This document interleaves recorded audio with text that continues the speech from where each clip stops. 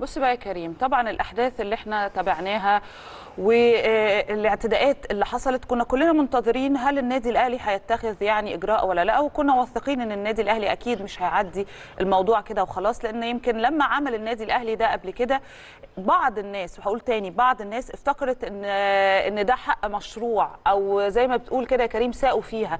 لكن فكرة إن النادي الأهلي- الأهلي يتغاضى عن فعل معين غير سوي ويعديه وع- لأن هو كان حاطط في الاعتبارات اعتبارات أخرى فيها نوع من الأخوة والسياسة والرياضة وال يعني والترفع إلى حد كبير لكن واضح إن القسم الآخر أو البارتي الثاني زي ما بيتقال عنه ما وصلوش ده. فتيجي تاني سنة يتم تكرار نفس الأمر ويمكن كمان بشكل أبشع. فكنا متوقعين وكنا متأكدين إن النادي الأهلي هيكون ليه رد فعل وبالتالي أو بال... خلينا نقولها كده تاكيدا للكلام ده هو فعلا تقدم النادي الأهلي بمذكرة لمعالي الوزير سيادة الوزير سامح شكري وزير الخارجية عشان يشكو فيها التجاوزات والاعتداءات اللي تعرض ليها الفريق واللعيبة والجهاز الفني والجهاز الإداري. ده قبل وكمان أثناء وبعد مباراة الهلال. حاجة كانت مشينة جدا واللي حدث تح- تحديدا إحنا بنتكلم عن السبت اللي فات. طيب ال- الكلام ده كان مقبول؟ لا الكلام ده كان غير مقبول تماما. الأهلي سرد في مذكرته كل تفاصيل الاعتداءات أثناء المران اللي هو كان يعني الوحيد كمان للفريق في السودان. كان في عندك ألعاب نارية يا كريم حاجة غريبة طبعاً، جدا. طبعاً. كان في مشاكل كبيرة جدا. وسواء أنت بتتكلم هنا من الجماهير كمان اللي تم السماح ليهم بدخول المباراة بالمخالفة لقرار الاتحاد الأفريقي لكرة القدم. أنت بتتكلم إن الناس دي دخلت إزاي؟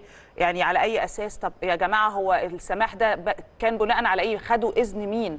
دي نقطة في غاية الأهمية. كمان ما كانش فيه ش- شروط أو توافر شروط السلامة اللي حددها الكاف في الملعب. كان في عندك يا كريم تجاوزات واعتداءات قام بيها بعض أفراد الطاقم الإداري أو من البعض على أفراد الطاقم الإداري عندنا والطبي. وأعتقد كلنا شفناها. يعني أنت مش محتاج إن أنت تثبت واقعة. الواقعة مثبوتة. كل حاجة متشافة ومتسجلة. فالكلام ده كله كان لازم إن إحنا نقف عنده لازم يبقى فيه رد اعتبار ولازم يبقى فيه محاسبة في نفس الوقت. وده اللي أكد عليه كمان النادي الأهلي في مذكرته واتكلم إن السفير المصري كمان بالسودان سيادة السفير هاني صلاح بذل مجهود كبير جدا مع البعثة وكان شاهد وكان موثق لكل الأحداث اللي أنا أقريتها لحضراتكم دلوقتي. واللي تاني هرجع أقول كلنا شفناها. واللي سبق كمان تاني إن هي اتكررت من جانب نادي الهلال والجماهير في أعوام كانت سابقة ورفض وقتها الأهلي وهأكد تاني التصعيد كان حرصا على العلاقات الطيبة بين البلدين.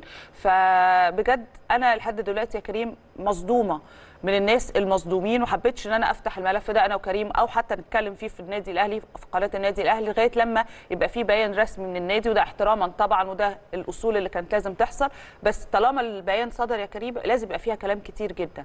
إحنا مش عارفين ده ليه بيحصل ولا ليه بيكرر وهل الكاف حي... يعني هياخد الموضوع ده انتو كونسيدريشن أو يعني ب... بمحو بمحمل. جد وهيبقى فيه محاسبة ولا الموضوع هيعدي وخلاص؟ ده اللي إحنا هن... أعتقد هنعرفه خلال كمان الأيام اللي جاية.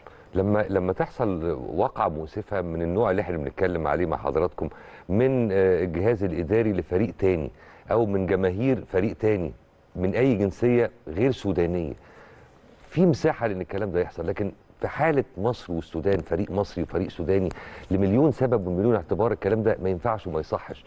أبسط الأمور عشان الجملة اللي قالتها نهاوند وختمت بيها الجزء الأخير من كلامها العلاقات الطيبة التاريخية كمان اللي بين مصر والسودان حكومة وشعبا. دي مش حاجة جديدة ده من قديم الأزل. إحنا طول عمرنا المفروض إن إحنا واحد. بس أنا مش عارف ليه الرياضة ساعات ساعات آه، بدل ما تجمع بتفرق. على كل الأحوال دي الواقعة اللي حصلت وده كان رد فعل النادي الأهلي.